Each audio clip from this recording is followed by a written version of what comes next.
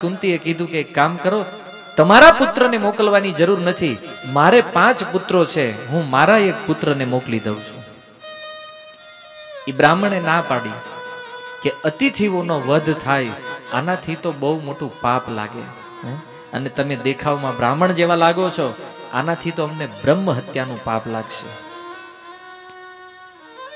છતાં કુંતી મહારાણી કહે છે, નહીં મારો પુત્ર જે છે એ તમને આ આ વિપત્તિમાંથી બચાવશે. ભીમસેનને તૈયાર કર્યા જવા માટે. અને ભીમસેન તૈયાર થઈ ગયા, તો નિયમ એવો હતો કે જ્યારે એ અસુર પાસે કોઈ જાય, ત્યારે એના ખાવાની સામગ્રી એક મોટી ગાડી ભરીને સાથે લઈ જવી પડતી હતી. ભીમસેને ગાડું તૈયાર કર્યું, ખાવાની સામગ્રી એમાં મૂકી, પણ ભીમસેને વિચાર કર્યો કે હવે એ સમયે બળદગાડા એટલે એમાં જ કાંઈ એફએમ કે સીડી પ્લેયર હોય નહીં. તો રસ્તો કેવી રીતે પાર કરવો? તો ભીમસેન પાછળથી લેતા જાય ને ખાતા જાય. થયું એવું કે અસુર પાસે પહોંચે એ પહેલા એ અસુરનું ખાવાનું બધું ભીમ ખાઈ ગયા પોતે. ઓલા અસુરે જોયું કે આ ગાડી તો ખાલી લઈને આવ્યો છે, આમાં નકરા છેલકા ગોટલા પડ્યા છે. તો ભીમને પૂછ્યું કે આ મારો ખોરાક? ભીમ કે એ તો હું ખાઈ ગયો. હે ને? કારણ કે એમ થયું તારે મને ખાવાનો છે, તારે ડબલ મહેનત કરવી નહીં. એ મારી અંદર જ ગયું છે બધું. હે ને? તું મને ખાઈ લે એટલે તારો ખોરાક તને મળી જશે. લાસુરે ક્રોધમાં ભીમસેન ઉપર હુમલો કર્યો અને ભગવાનની કૃપાથી ભીમસેન એનો વધ કરી અને એ ગામને આ અસુરના પ્રભાવથી મુક્ત કરી દીધું. આગળ વધતા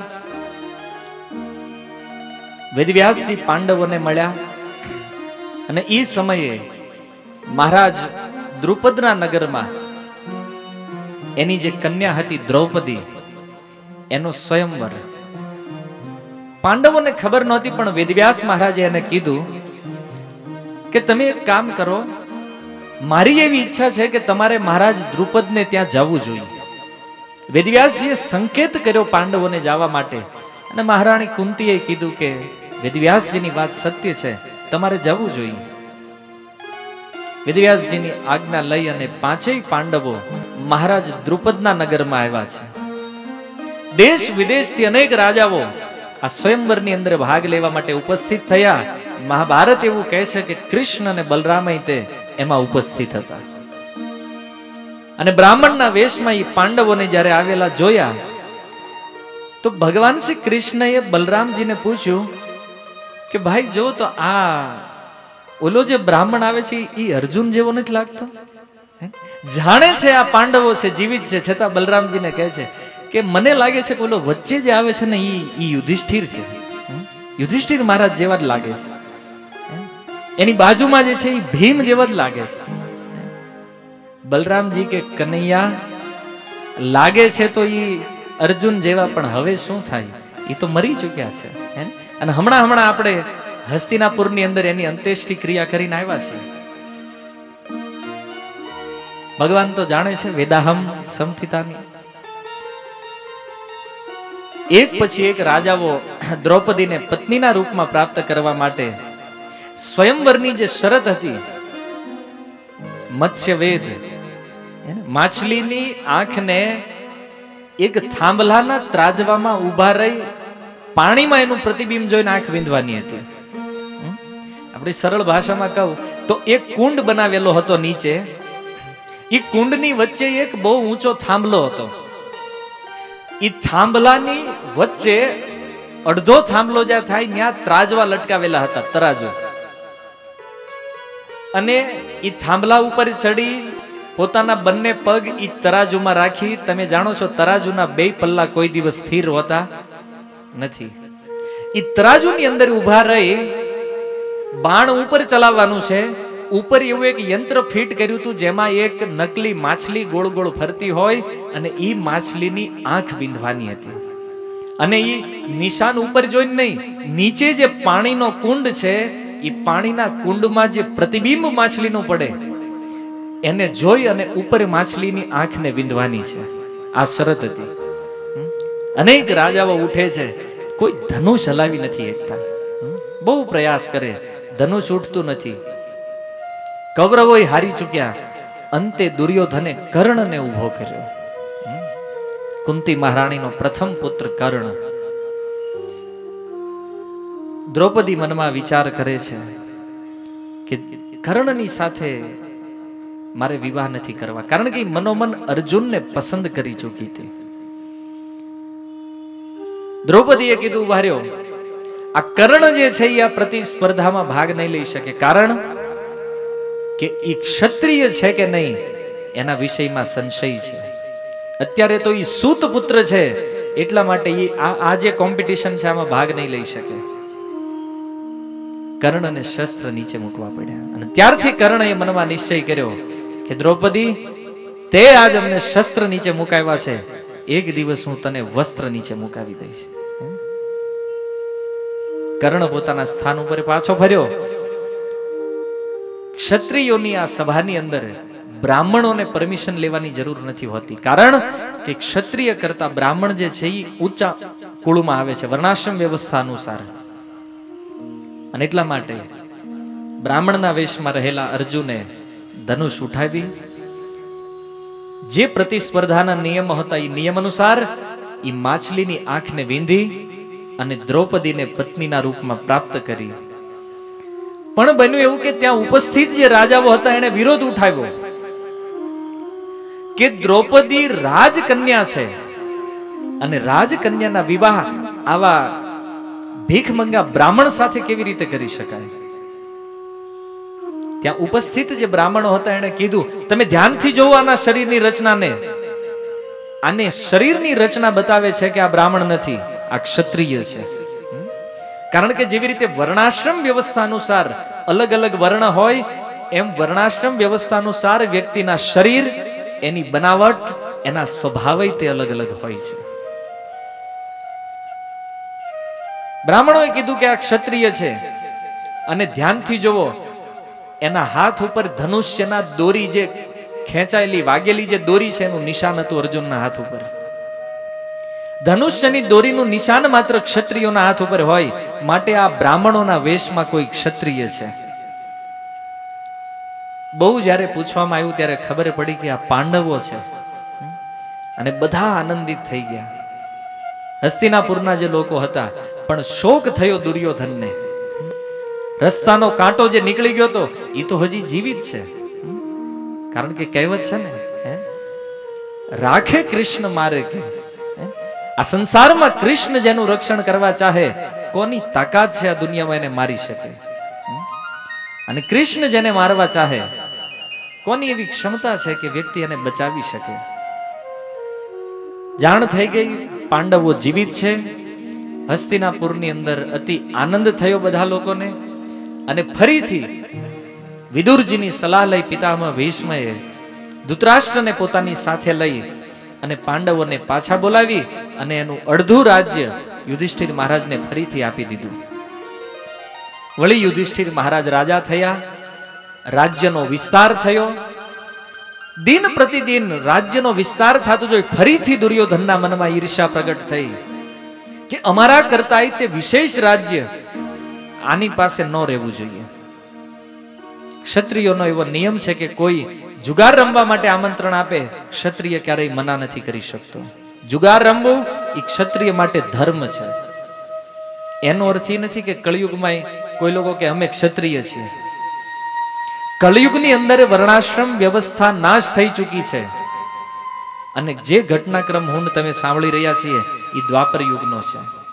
એટલે ભૂલથી તે એવો સિદ્ધાંત મનમાં લેવાની જરૂર નથી કે, હાલો, આપણે ક્ષત્રિય કુળમાં આવ્યા છીએ એટલા માટે આપણે જુગાર રમવું જોઈએ, નહીં.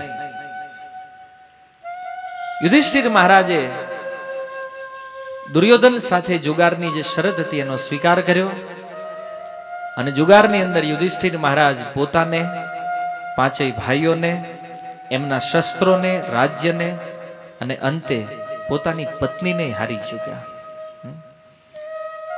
દ્રૌપદીને હારી ચૂક્યા, દ્રૌપદીની સભાની અંદર લાવવામાં આવી. એ સમયે કર્ણએ કીધું કે આ દાસી છે આને નિર્વસ્ત્ર કરો. અને ઈ કુરુઓની સભામાં દ્રૌપદી બધાની પાસે મદદ માગી રહી હતી, પણ કોઈ વ્યક્તિ એની મદદ કરી નહીં.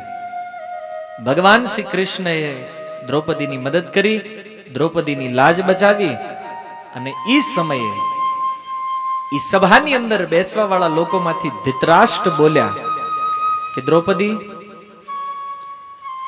મારી ઈચ્છા છે કે હું તને કંઈક વરદાન આપું. તારે શું જોઈએ છે? ત્યારે દ્રૌપદી પ્રથમ વરદાન ધૃતરાષ્ટ્રથી માગે છે કે મારા પતિ યુધિષ્ઠિર જે છે, એને દાસ્તામાંથી મુક્ત કરો. ધૃતરાષ્ટ્રએ કીધું કે બીજું વરદાન માગી લે. દ્રૌપદી કહે છે કે બીજું વરદાન એ માગું છું કે મારા બાકીના જે પતિઓ છે એને અસ્ત્ર શસ્ત્રની સાથે અહીંયાથી છૂટા કરો. ધૃતરાષ્ટ્રએ કીધું, પુત્રી, હજી એક વરદાન માગી લે.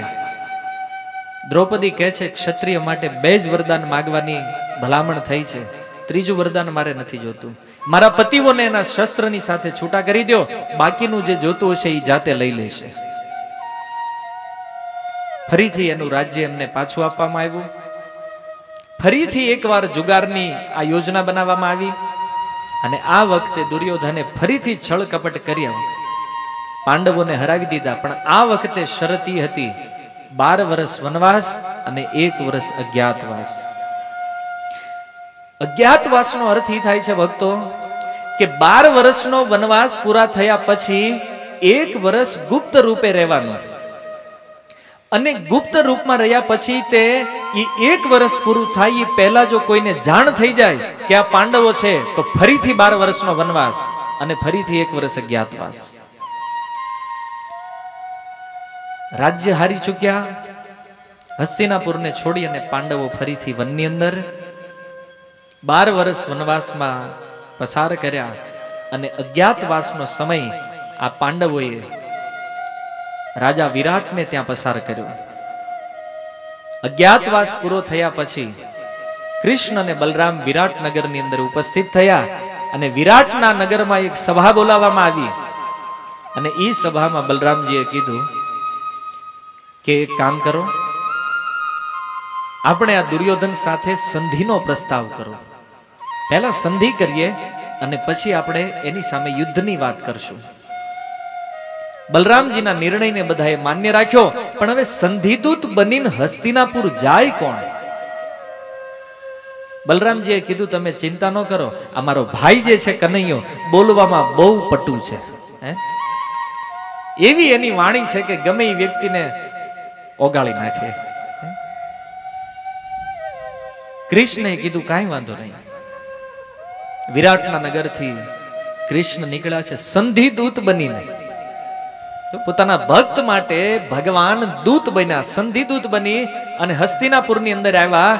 હસ્તિનાપુરની અંદર આવી અને એણે પોતાનો પ્રસ્તાવ ધૃતરાષ્ટ્રની સામે રજૂ કર્યો કે, મહારાજ, નિયમ અનુસાર પાંડવોએ બાર વર્ષનો વનવાસ અને એક વર્ષનો અજ્ઞાતવાસ પૂર્ણ કર્યો છે. એના રાજ્ય, એના હકનું જે રાજ્ય છે, એ એમને પાછું આપી દો. અને ઈ સભામાં પિતામાં ભીષ્મ બેઠા છે, દ્રોણાચાર્ય વિદુરજી.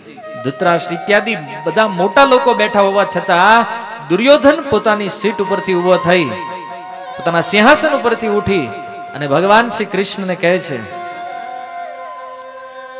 કે કૃષ્ણ, તમે રાજ્યની વાત જવા દો ભૂમિની વાત છોડો, સોયની અણી મૂકે એટલી જગ્યાએ તે યુદ્ધ કર્યા વગર પાંડવોને નહીં મળે. જો રાજ્ય જોતું હોય તો હસ્તિનાપુર આખું યુદ્ધ કરીને અને નહીતર ભીખ માગો. સોયની અણી મૂકો એટલી જમીન તે નહીં આપો. અહંકાર હતો દુર્યોધનની અંદર. સાક્ષાત ભગવાન સામે હોવા છતાં દુર્યોધન ઓળખી ન શક્યો. ઘણીવાર લોકો એવું કહે કે ભગવાનને કોઈએ જોયા છે? આપણે કહીએ છીએ ભગવાન છે, કોઈએ જોયા નથી. ભગવાન એક એવું વિલક્ષણ પાત્ર છે ભક્તો, કે એ કદાચ સામે હોય, પણ હૃદયની અંદર જો ભક્તિ ન હોય ને, તો એ ભગવાન દેખાય નહીં.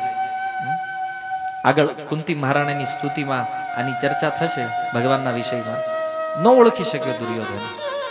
અરે ઓળખવાની વાત છોડો એ કૃષ્ણને બંદી બનાવવાનો પ્રયાસ કર્યો. એની જેવા જે મૂઢ રાજાઓ હતા, એને કીધું કે આ કૃષ્ણ જેવા અંદર આવ્યાને બંદી બનાવી લ્યો.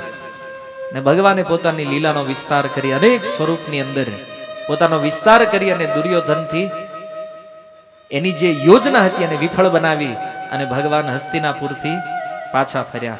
વિરાટની સભામાં આવી અને કૃષ્ણએ કીધું કે હવે યુદ્ધ એ જ અંતિમ નિર્ણય છે. યુદ્ધ કરવું પડશે. મહાભારતના યુદ્ધનો તખતો જે છે એ તૈયાર થઈ ગયો, ગોઠવણ થઈ ગઈ બધી. કૌરવોના પક્ષમાં અને પાંડવોના પક્ષમાં મળીને કુલ અઢાર અક્ષોહિણી સેના તૈયાર થઈ કુરુક્ષેત્રના યુદ્ધ મેદાનમાં. અને ઈ કુરુક્ષેત્રના યુદ્ધ મેદાનમાં આ એક એવું યુદ્ધ થવા જઈ રહ્યું છે જે વિશ્વનો ઇતિહાસ બનવાનું છે. કારણ કે આ એ જ યુદ્ધ છે જેમાં ભગવાન શ્રી કૃષ્ણએ અર્જુનને ભગવદ્ ગીતાનો ઉપદેશ આપ્યો. એ ભગવદ્ ગીતા જે આજ માનવ સમાજનું સૌથી મોટું કલ્યાણ કરવા વાળું સાધન બન્યું છે. એક દિવસ, બે દિવસ, સત્તર દિવસ યુદ્ધના જ્યારે પસાર થયા અને યુદ્ધમાં કરોડો લોકોનું મૃત્યુ થયું. કરોડો લોકો વીરગતિને પ્રાપ્ત થયા. પિતામાં ભીષ્મનું મૃત્યુ થયું યુદ્ધમાં, દ્રોણાચાર્યનું મૃત્યુ થયું. અનેક અનેક મહારથીઓ, અતિરથીઓ અને પાયદળ સૈનિકોનો કોઈ પત્તો જ નથી કેટલા મર્યા. હાથી, ઘોડા, રથ, કેટલી સંપત્તિઓનો નાશ થયો? અને અંતે અઢારમા દિવસે દુર્યોધન એકલો બચ્યો છે કૌરવોની સેનામાં. નવ્વાણું ભાઈ એના મરી ચૂક્યા છે. અને મહાભારત એવું કહે છે કે નવ્વાણું એ નવ્વાણું ભીમના હાથથી મર્યા હતા. નવ્વાણું પુત્રોને ભીમે એકલાએ સત્તર દિવસની અંદર વીરગતિ પ્રાપ્ત કરાવી દીધી. એક દુર્યોધન બાકી રહી ગયો અને જ્યારે ગાંધારીને ખબર પડી કે હવે મારો એક જ પુત્ર બચ્યો છે, સત્તરમા દિવસની રાત્રે ગાંધારીએ દુર્યોધનને પોતાની છાવણીમાં બોલાવ્યો અને કીધું, દુર્યોધન, તારે જો હવે જીવિત રહેવું હોય, આ પૃથ્વી ઉપર તારા આયુષ્યને તારે પૂર્ણ રીતે જો ભોગવવું હોય તો જેવી રીતે તારો જન્મ થયો તો નિર્વસ્ત્ર થઈને તું મારી સામે આવ્યો. હું તને એક રક્ષા કવચ આપું છું. દુર્યોધને વિચાર કર્યો કે હવે એકલો રહી ગયો છું, તો માતાએ જે કીધું છે કમસે કમ એનું પાલન કરું. ગયો ગંગાની અંદર સ્નાન કરવા માટે. વિચાર કરો, ભક્તો, પાંડવોને તો ખબર નથી શું થવા જઈ રહ્યું.